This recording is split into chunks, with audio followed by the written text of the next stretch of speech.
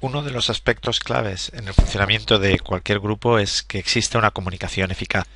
En este vídeo nos proponemos como objetivos que conozcáis qué elementos de comunicación tienen especial relevancia en los grupos de mejora de procesos. En general, para que un grupo eh, funcione eh, eficazmente es necesario que sus componentes hablen de manera directa, clara y compartiendo información no solo sobre eh, acciones a poner en marcha, sino también sobre los hechos que, en los que se basan las decisiones que estamos tomando, las sensaciones y sentimientos que tenemos los diferentes componentes del grupo, qué es lo que pensamos y cuáles son nuestras intuiciones y también cuáles son nuestras intenciones o, nuestras agendas personales en el trabajo del grupo o en el funcionamiento dentro del grupo. El principal problema que suele existir con todo esto es que en primer lugar eh, no se comparte información de estos cinco aspectos y en el caso de que, de que se haga lo que se suele hacer es mm, confundir o, o no clarificar cuando estamos hablando de hechos que es aspectos objetivos de la realidad que todos deberíamos interpretar de una manera muy parecida, o cuando estamos hablando de sensaciones o de intuiciones, o simplemente de intenciones de cosas que quizá vaya a poner en el futuro. Otra característica importante de los grupos que funcionan bien es que sus miembros cuando intervienen lo hacen a través de intervenciones breves, evitando dar explicaciones más largas de lo necesario. Eh, debemos dedicar todo el tiempo y todas las palabras que sean necesarias, pero nunca más de las necesarias y por supuesto nunca menos de las necesarias para que sea entendible nuestro, nuestro mensaje.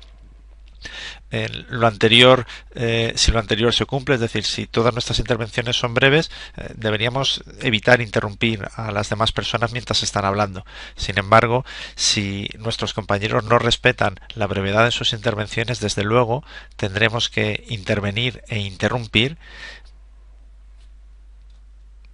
eso sí, haciéndoles notar que hemos entendido su mensaje y para esto es muy buena la reformulación, de modo que podamos parar esa intervención cuando ya no nos aporta nada al grupo y continuemos eh, con el desarrollo normal de las actividades.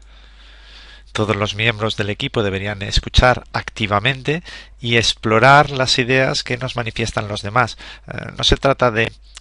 de luchar contra los demás y, y, luchar contra sus ideas, sino de comprender cuáles son sus ideas y en caso de no compartirlas, manifestar las razones, hechos, sentimientos o intuiciones que generan el que no compartamos esas ideas. También es importante que aseguremos la intervención de todos los componentes del grupo. Cuando alguien está invitado a una reunión o a formar parte de un grupo de resolución de,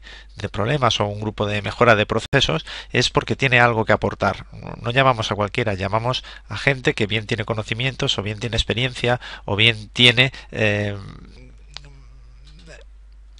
evidencias de los problemas o de las posibles soluciones. Por tanto, debemos conseguir que esta persona transmita a los demás aquello por lo cual ha sido invitado a estar en el grupo. Para lograr esta comunicación eficiente tenemos varias herramientas o técnicas a nuestra disposición. Os las hemos agrupado aquí en, dos columnas. En la parte de la izquierda tenéis aquellas que tienen que ver con la comunicación interpersonal. Se trata de estar atento a, todo el contenido del mensaje, no solo al aspecto verbal, eh, sino también a todo el lenguaje corporal y que, acompaña eh, la emisión del mensaje. Otro aspecto importante, probablemente uno de los más importantes en el buen funcionamiento o en la buena comunicación en el grupo, es que seamos capaces de emitir de manera asertiva, utilizando fundamentalmente mensajes yo. Eh,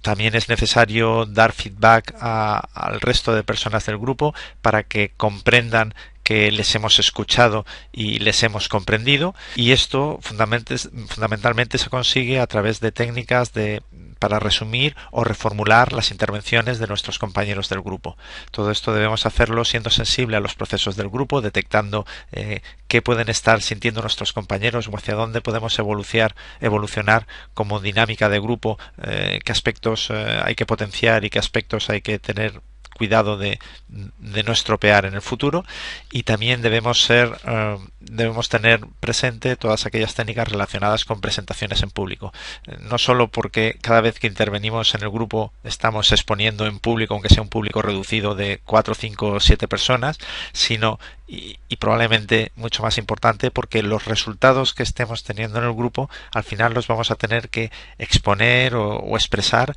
a otras áreas, a otros agentes, a otras personas de la empresa. Y ahí nuestra capacidad de presentación en público y nuestra convicción a través de estas herramientas eh, va a ser fundamental para que el, producto o, o lo que estemos generando en el grupo pueda trascender y ganar el apoyo de las personas que tienen que decidir en la empresa.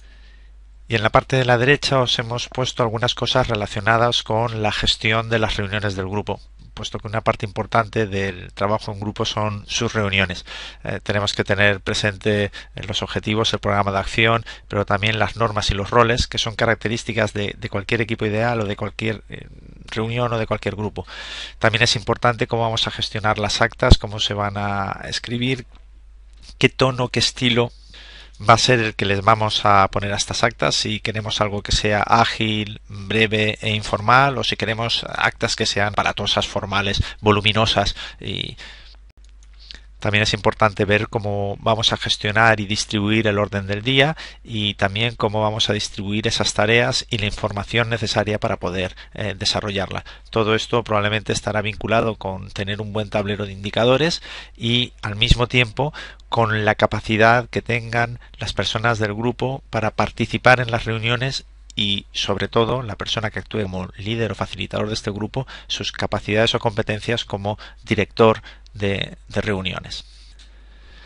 Para desarrollar todas estas habilidades o conocer algo más acerca de, eh, de los aspectos de comunicación interpersonal o, gestión de reuniones, os vamos a remitir a otros cursos, otros grupos u otro material, porque dentro del enfoque que le hemos dado a, este curso no tienen demasiada cabida y además nos solaparíamos con otros cursos que en estos momentos se están ofreciendo también dentro de la plataforma de la plataforma Miriadax. Por tanto, si os interesa podéis recurrir a ellos o buscar información complementaria en vídeos que puedan estar distribuidos en, en YouTube. Lo que sí que vamos a hacer es remarcar una de las eh, principales características mm, para la comunicación interpersonal en grupo, que es la asertividad, por la importancia que, que nosotros vemos que tiene para el buen funcionamiento del grupo. En estos momentos deberíais ser capaces de valorar la importancia de algunos aspectos de la comunicación en el buen funcionamiento del grupo y eh, en caso de necesitar tener más conocimientos eh, sabéis que podéis buscarlos en recursos externos a este curso. Eh, si queréis saber algo más relacionado con asertividad os planteamos este enlace que será necesario que lo sigáis antes de realizar las actividades complementarias que os propondremos en el foro.